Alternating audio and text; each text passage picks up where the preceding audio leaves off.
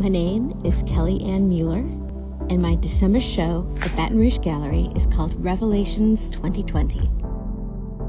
My work for the past couple of decades has been large scale and usually really textural.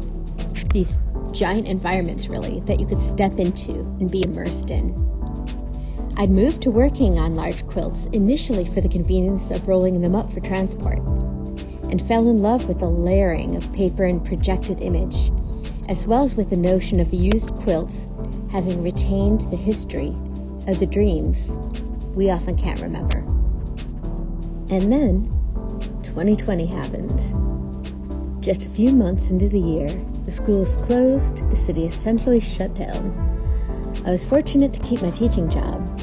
Like much of the world, I suddenly found myself spending long days sitting at the kitchen counter in eternal Zoom meetings, often while sharing the house with a quarantine cohort of homebound and feral young boys.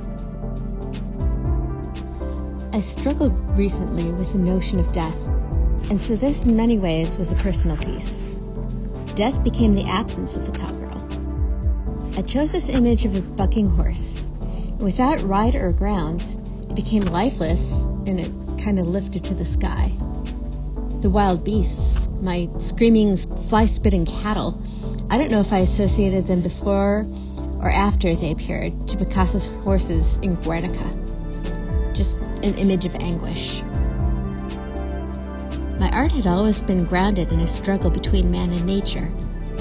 It seemed inevitable that in 2020, nature would win. My dark sense of humor converged with 12 years of Catholic school in 2020 became easily relatable as a biblical end of days.